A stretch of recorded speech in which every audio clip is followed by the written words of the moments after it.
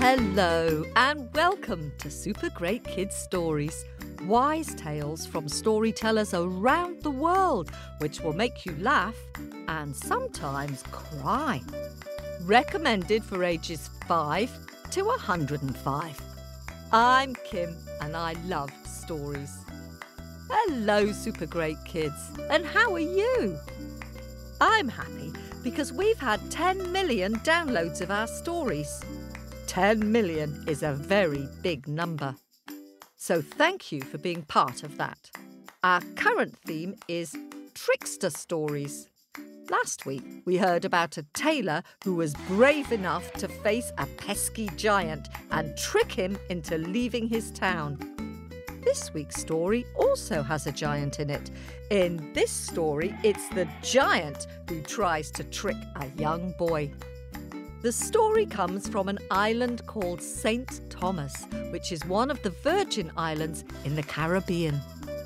Before we begin, I wonder if you can think what your giant would be like if you told a version of this story.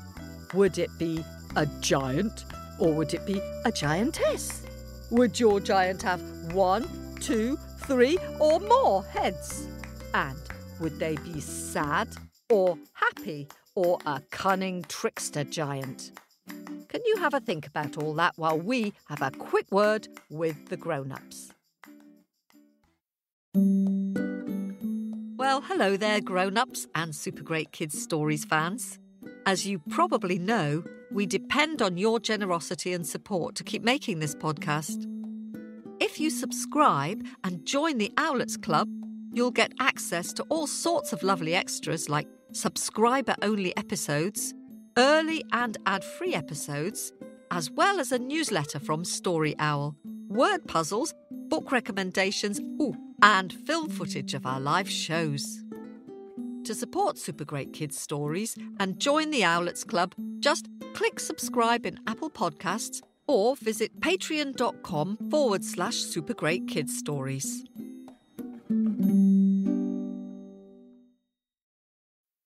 Hello, super great kids. I'm back.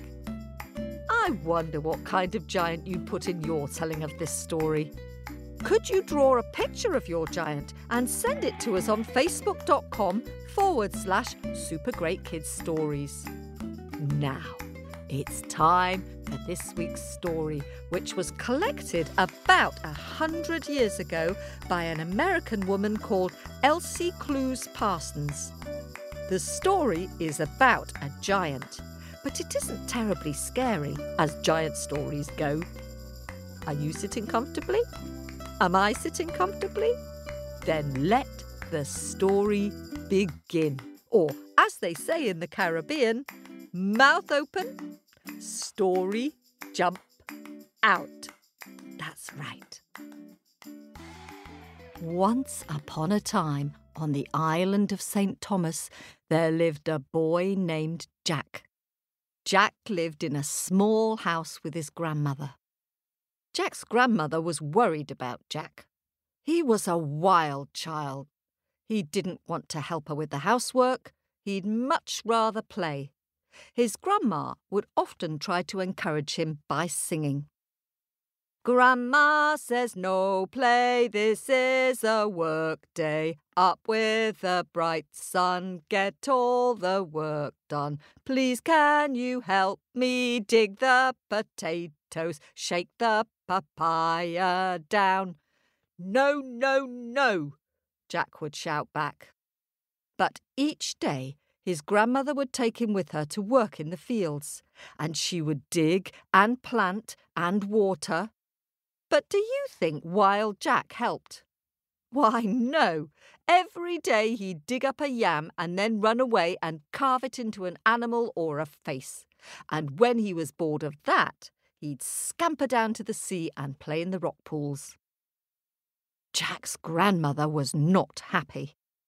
Jack, this is no good, she said, with an exasperated wag of her finger. The two headed giant lives in those caves near the rock pools. They say he lies in wait for children who are playing alone on the beach. And it was true. For years, people had told stories about the giant who had spiky blue hair, yellow eyes, sharp black teeth, and a cavernous mouth. And he loved nothing more than munching on prickly sea urchins or a juicy child. But do you think Jack was afraid? Ha! Course not. He just tossed his head, sucked his teeth, laughed, and ran off. One morning, his grandmother took a stick of sugar cane from the fields and carefully carved it into a flute, which she gave to Jack. If ever you're in trouble with the two headed giant, Jack, you toot on your flute loud and we'll know where to find you. Ah, thanks, Grandma, said Jack, and off he skipped to play his flute, leaving his grandma to dig the soil, fetch the water, and plant the yams all by herself. The weeks passed, and the months passed. One day, as usual, Jack slipped away from his grandma in the fields and ran down to the sea. He fished in the rock pools, chased the waves, and then he sat on the rocks, drying out in the rays of the setting sun. He pulled out his flute and began to play his grandma's song.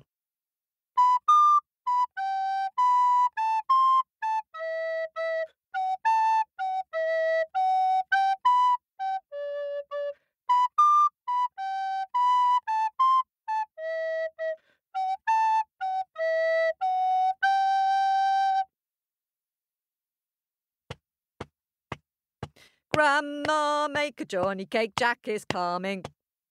Grandma, make a Johnny cake, Jack is coming. Guava berry, winter cherry, hot callaloo. Suddenly, out of the long shadows stepped an enormous man. This was not any old man. This was a giant of a man, as tall as the cliffs with spiky blue hair, black teeth, and a cavernous mouth, and not one, but two horrific heads. Ah! Rah, rah, fa la la la la! The giant roared louder than the sea. Jack jumped. Aha! What have we here, boy? That is a lovely song. Come here and sing it for me again. Trembling, Jack picked up his flute and played.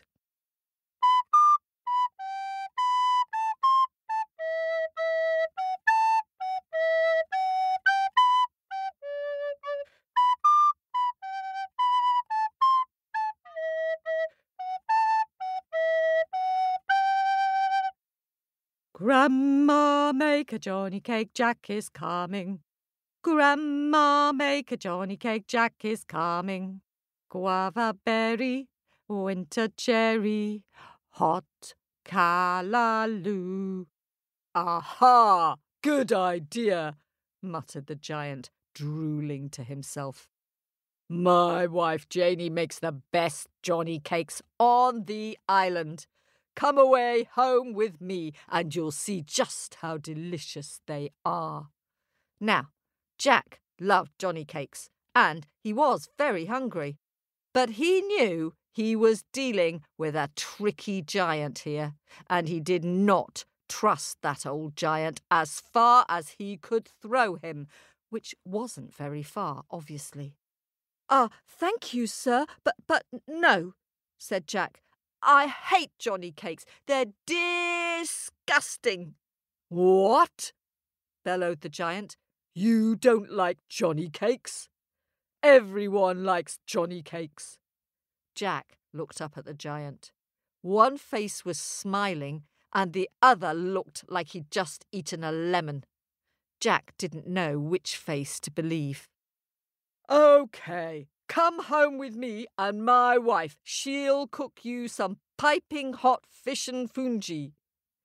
Ah, thank you, sir, but no, quipped Jack. Ah, I'm allergic to fish and fungi. It, it brings me out in spots. What? hollered the giant, shaking his two giant heads and wiping the drool from his two cavernous mouths. How about some nice cow heel soup? No, thank you, sir. I don't like eating cow heels either. Well, well, you are a fussy one. Come with me, and I'll show you how to be a real wild man.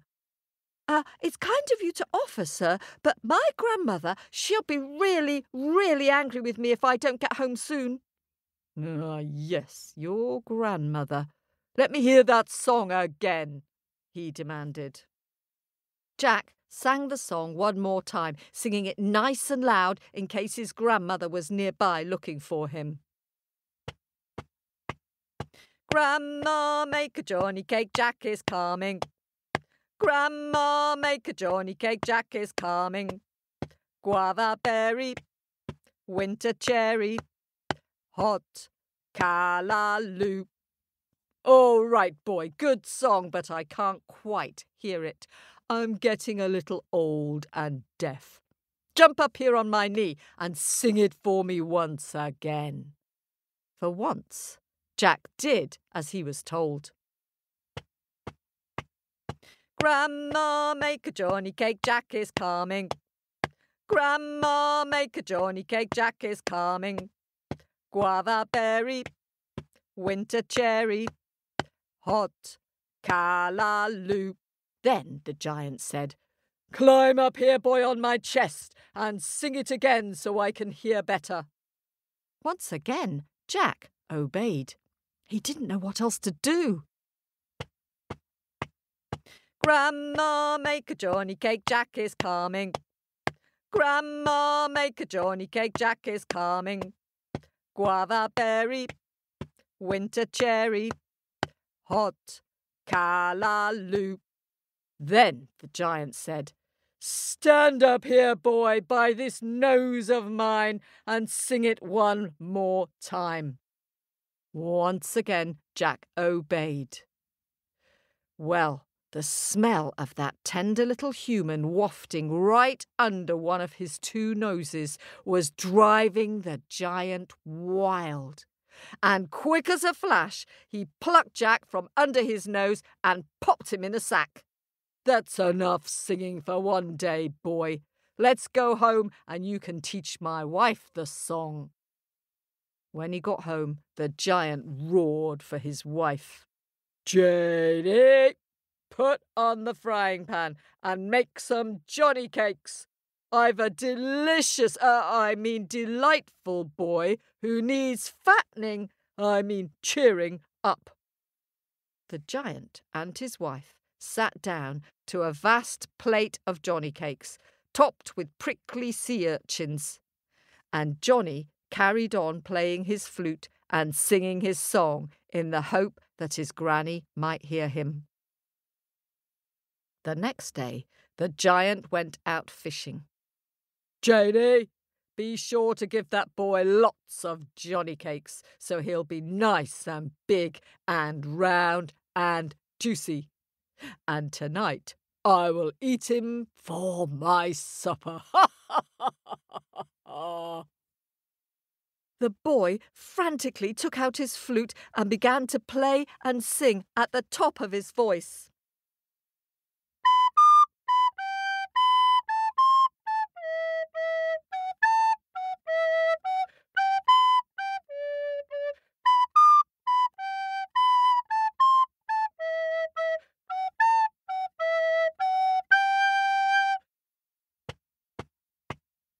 Grandma, make a Johnny cake, Jack is coming. Grandma, make a Johnny cake, Jack is coming. Guava berry, winter cherry, hot callaloo. The giant's wife, she clapped. Little boy, oh little boy, play that song for me again. Jack said, I, I will if you can open the bag a wee bit more so I can get some air. All right, says the giant's wife, and she let Jack come out of the bag a teeny bit. And Jack played and Jack sang.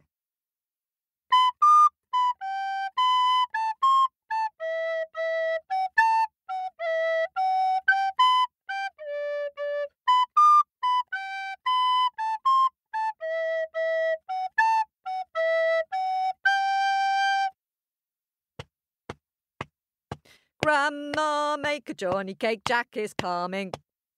Grandma, make a Johnny cake, Jack is coming. Guava berry, winter cherry, hot callaloo. The giant's wife, she clapped and cheered and said, Ha, little boy, little boy, play that song again for me. And Jack said, I will, if you can open the bag a wee bit more so I can play with my hands free, and this time I'll get you dancing on your toes. All right, says the giant's wife, but my husband will be back soon, and then we'll have to stop and she loosened the bag so Jack's hands were free. Jack played and played and played until she danced on her toes.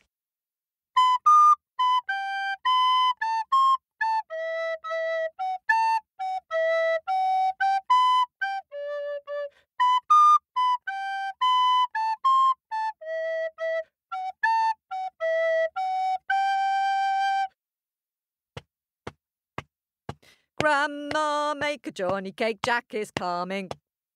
Grandma, make a Johnny cake, Jack is coming.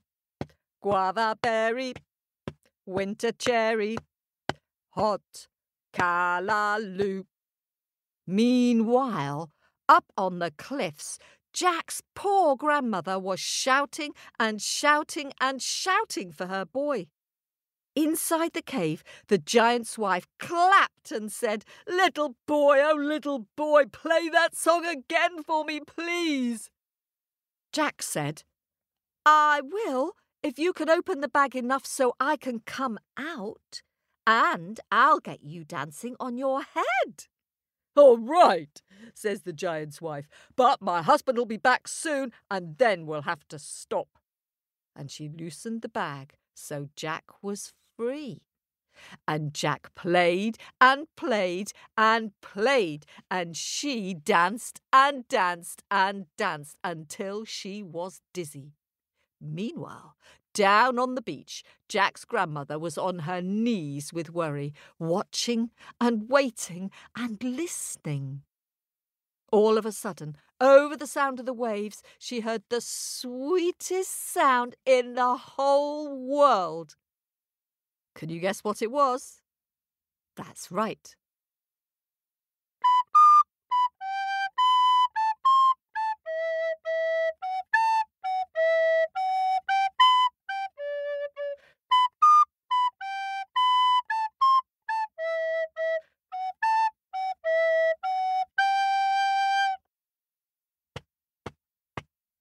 Grandma, make a Johnny cake, Jack is coming.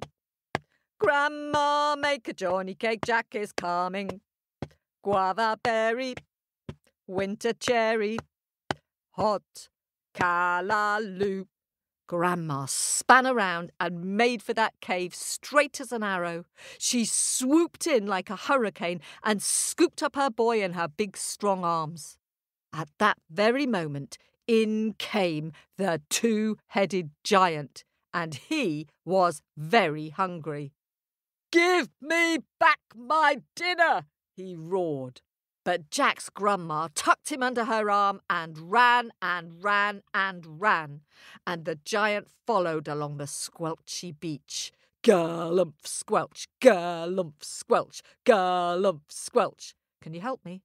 Galumph squelch, galumph squelch, galumph squelch. He got closer and closer and closer Jack could see the drool dribbling down the giant's chin. He took a Johnny cake out of his pocket and he threw it at the giant's eye. Meow! Splat! Galumph! Ouch! Galumph! Ouch! went the giant, rubbing his eye. And Jack quickly took another Johnny cake out of his other pocket and aimed it at one of the giant's eyes. Meow! Splat! Galumph! Ouch! Galumph! Ouch! went the giant, rubbing his second eye.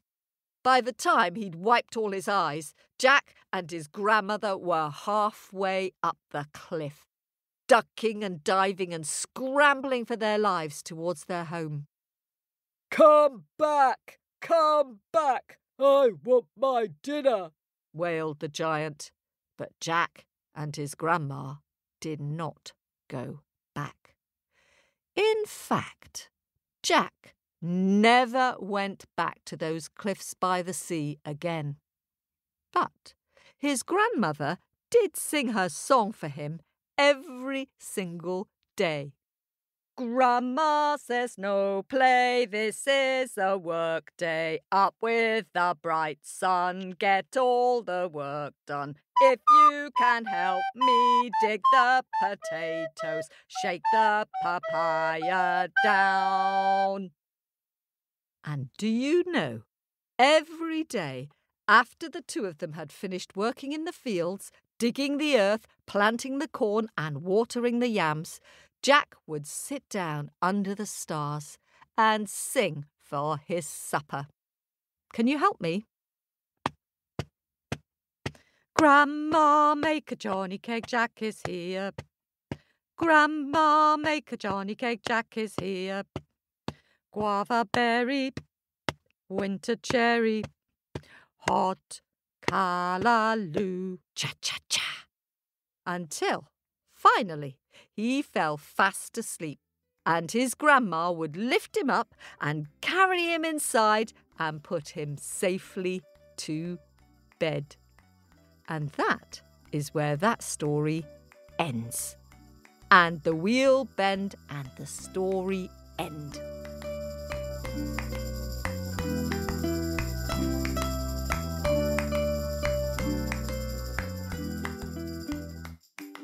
Oh, I do like a good giant story, don't you? Two heads. That's a bit scary.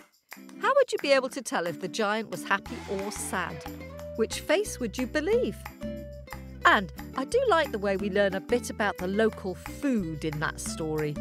Johnny cakes are delicious round fried bread, often slightly sweet. And hot callaloo is a kind of soup made with greens and sometimes chili peppers. A bit like an auntie's hot pepper soup.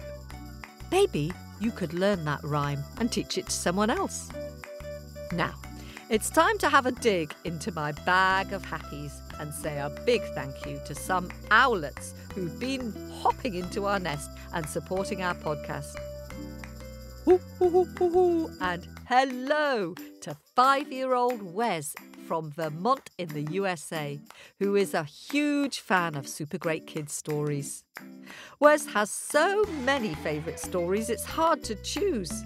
Snake and the Holy Man and Mastercat are repeat stories for him. I wonder which are your favourites. And hoo, hoo, hoo, hoo, to new owlets in Edmonton, Alberta, in Canada. Hello to Emma, who is six, and Ava, who will be four in September. So pleased you're enjoying the stories. And hoo hoo hoo hoo hoo and hello to Kyla, who is five, and Orion, who is one, in Ireland. They listen to the stories all cuddled up in bed at night. Lovely. And thanks so much for all your support. We couldn't make these stories without you all. We hope you're enjoying the bonus stories and the super great scary stories. And thanks so much to all of you who've given us a tip on Ko-fi this month. We really appreciate it. And thanks to all you budding artists who sent in creative pictures this week. We don't have time on the podcast to mention all of you, but we'll post all the pictures you send on our Facebook page to share with other story fans. Here are my picks of pictures for this week.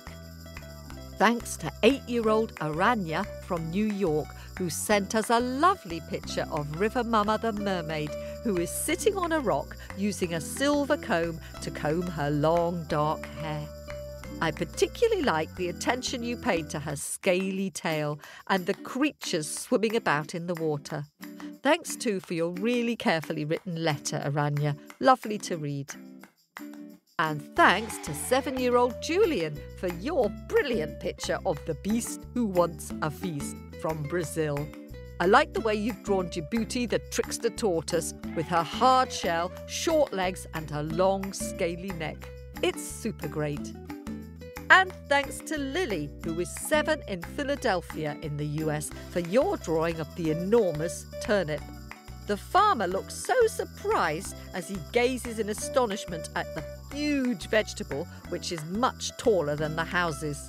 No wonder so many people and animals were needed to heave it out of the ground. Great fun. Thank you, Lily. And thanks to Rieka, who is five, from Auckland in New Zealand, for your beautiful picture of Anansi and the party. I love it, especially all the wonderful colours that you've used for the water. So effective. Thank you, Rieka.